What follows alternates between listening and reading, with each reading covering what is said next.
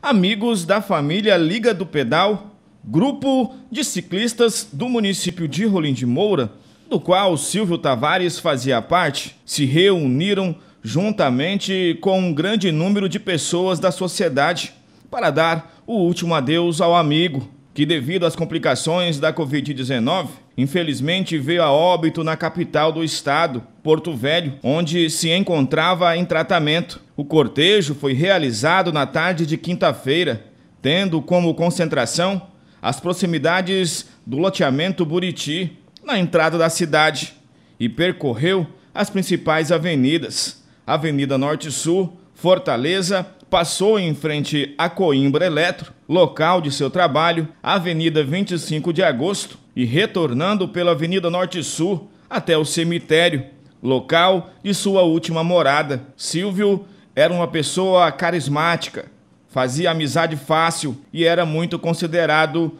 por companheiros de trabalho e pela sociedade.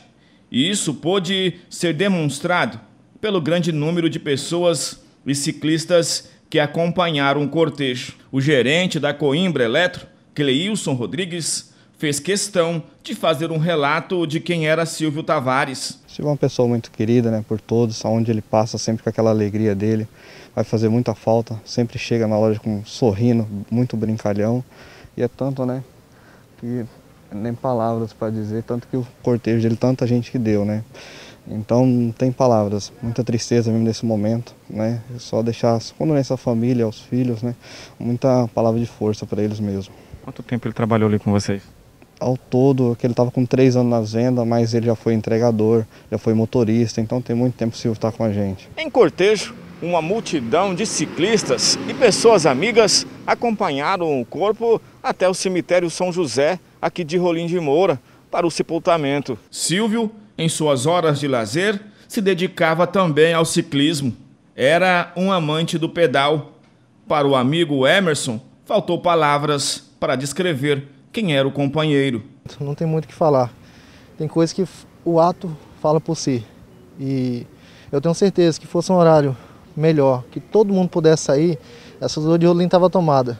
Que era isso que era o Silvio, nosso amigo Silvio, sempre muito alegre, muito extrovertido. Está aí o resultado disso, essa multidão acompanhando ele no último adeus. Então eu quero agradecer a todos que vieram, a todos que estão em casa assistindo, que estão solidarizando com nossa com nossa dor. Você também, muito obrigado. Então é isso, cara. Não tem muito o que falar do Silvio a não ser alegria e muita saudade.